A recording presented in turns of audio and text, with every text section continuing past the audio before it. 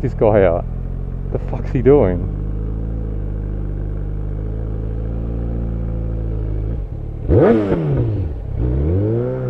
Idiot.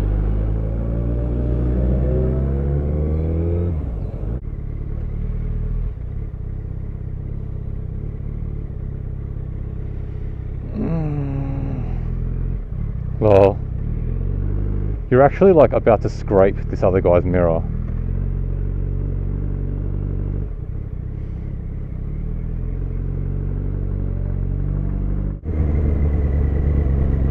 Do is you wait till they're stopped.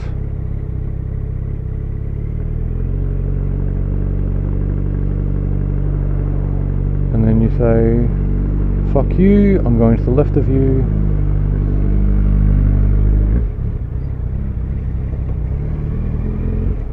There you go, mate.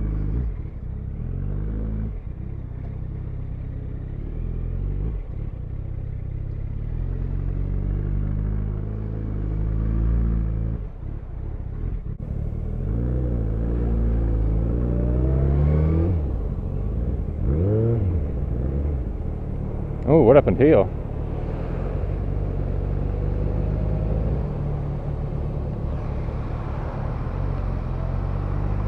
Bet you it's a rear ender. I bet you. Why do we lane split, guys? Why was I just doing all that lane splitting? To avoid shit like this. Look at that! Oh my god. Imagine if that was a bike. Imagine if I was between that. And then you tell me, oh no, it's bad for me to freaking lane split. Fuck off. If I'm behind two cars stuck in traffic, I don't know they're not bloody, gonna bloody stop. And I'm gonna lose my freaking legs, aren't I?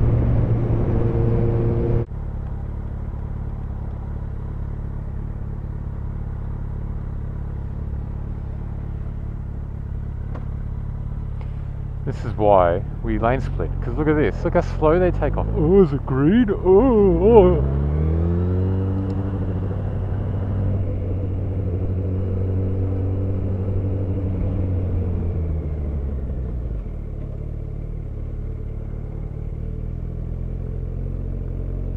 See, this is technically lane splitting, isn't it? Two cars driving in the same lane.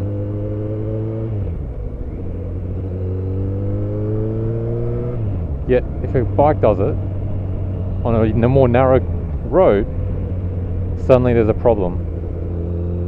That just doesn't make any logical sense to me.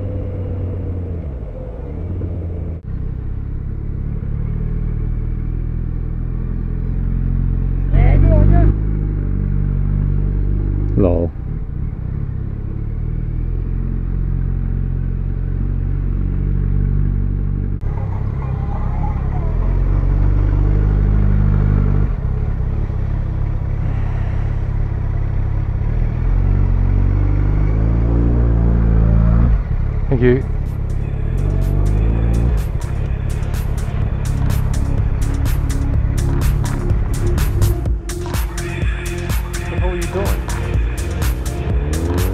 What the fuck are you doing? What are you doing?